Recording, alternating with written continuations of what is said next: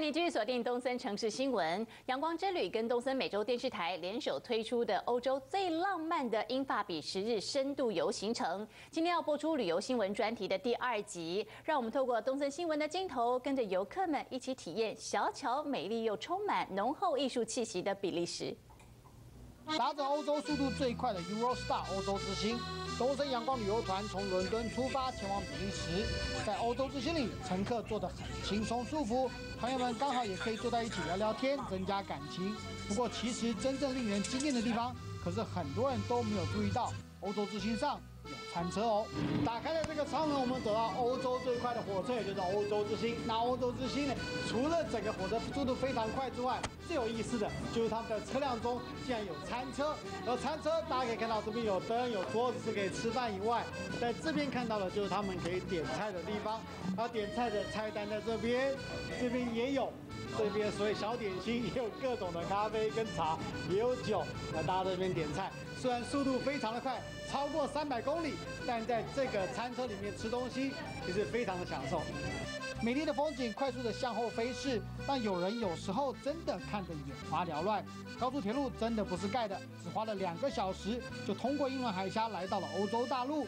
闻名已久的比利时，转眼就在眼前。在地理位置上，比利时位于德国、法国和荷兰的中间。历史上也曾经受过从罗马人、法国人到德国人的统治，连官方语言都有两种，是荷兰语和法国语。因此，在建筑和艺术上的风格是很多元的，难怪被称为欧洲的十字路口。而这所有的特色，在比利时最有名的布鲁塞尔大广场更是一览无遗。被三百六十度的美景所拥抱和包围的感觉，让所有东升阳光之旅的团员们都听着导游的解说，仰着头赞叹不已。连让人想形容它的美都觉得词穷。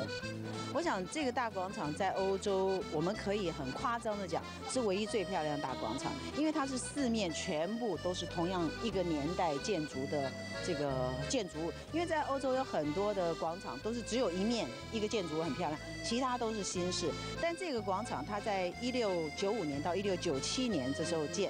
所以我们可以看到这个广场的特色是它没有任何人造的材料，我们用的是什么石头、木头、玻璃跟呃铁，这些都是 original 的原料，它没有掺杂像塑料的东西。那还有它的这个风格，全部的楼层的高度它没有特别，只有我们市政府这个它必须要最高。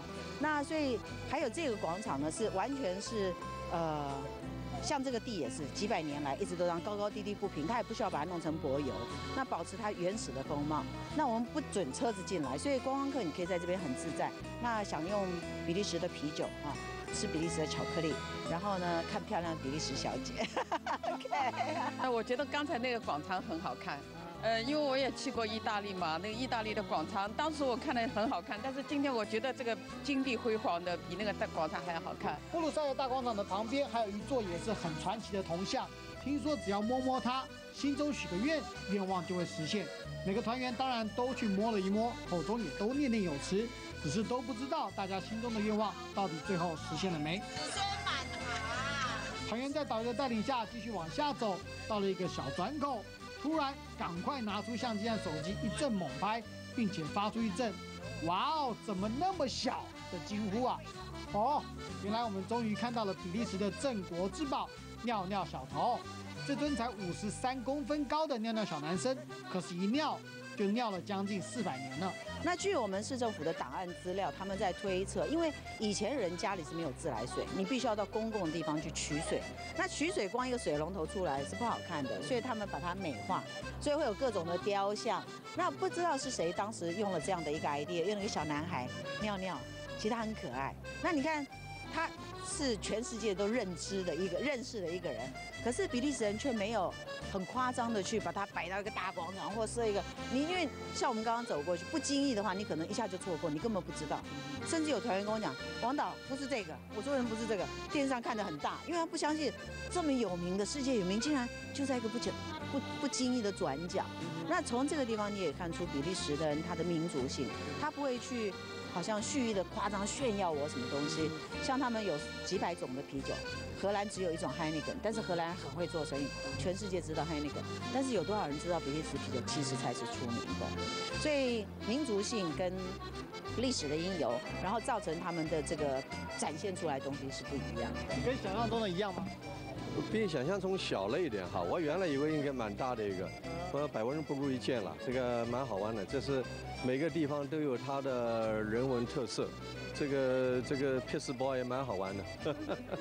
除了比利时布鲁塞尔的大广场是非常漂亮的以外，其实另外一个非常有名的景点就是大家刚在镜头上看到的，哦，尿尿小童啊，它尿尿小童代表比利时整个非常重要的风光。那除此之外，另外一个很有名的东西就是他们的巧克力店。一说到可以买比利时三宝之一的巧克力，东森阳光之旅的团员们都开心的大声欢呼。比利时的巧克力不但样式和种类多多，而且每一家店所卖的巧克力也都有自己的风味，浓郁但是绝对不甜腻的口感，可是在其他地方的巧克力所绝对吃不到的。而比利时的第三个宝就是一格一格的 waffle 松饼，这个发明也是来自比利时的甜点，现在可是全世界的人都吃过。不过很明显的，比利时人的吃法。变化更多，很好吃，是吗？我最好吃的 waffle ever，是吗？Ever？嗯，OK，你以前有常吃 waffle 吗？Sometimes。Sometimes。所以那跟我们讲一下，这个到底哪到底有什么东西？你觉得那么好吃？It's 很暖和，很脆，and this 奶油很好吃，and the strawberry 很新鲜。东森阳光之旅旅游团带团员们看风景外，也要吃当地有名的风味餐。布鲁塞尔大广场旁边有很多的海鲜餐厅，其中这一家可是当地老饕才会懂得来吃。尤其比利时特别有名的 mussel 蛋菜，又肥又大又鲜美。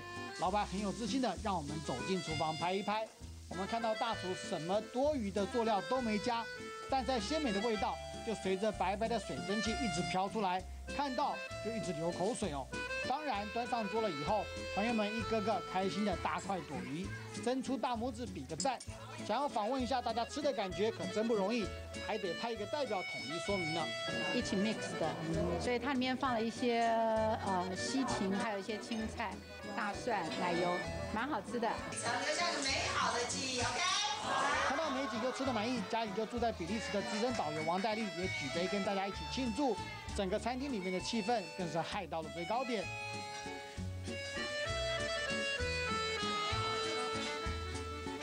其实比利时虽然国土不大，但是小而美，到处都有充满艺术气息的景点，像是知名漫画人物《丁丁历险记》中的丁丁和小白，就出现在墙上的壁画。而古色古香的布鲁塞尔美术厅，其实很多人都想不到，这个地方竟然是全世界第一个室内的 shopping mall 购物广场。不过更令人感到有意思的是，在布鲁塞尔大广场的另一个角落的小巷子里，竟然还藏着一尊尿尿小女童。不过因为怕受到民众的破坏，尿尿的美眉就只好继续蹲在围起来的红色展览里。这个神秘的景点可不是每个人都知道哦。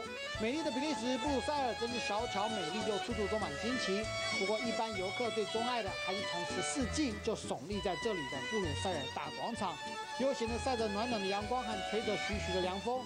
原本应该多雨阴天的比利时也绽放出灿烂的阳光。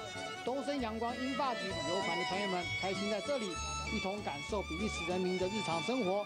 悠闲的比利时在大家心中留下了美好的回忆。比利时大广场，都能希望王祥林、洪文，比利时采访报道。体验了小而美的欧洲小国比利时，下星期同一时间，东森阳光的英法比时日深度游旅游专题就要带着旅客去体验欧洲充满文艺气息的浪漫国度法国。敬请观众朋友持续锁定。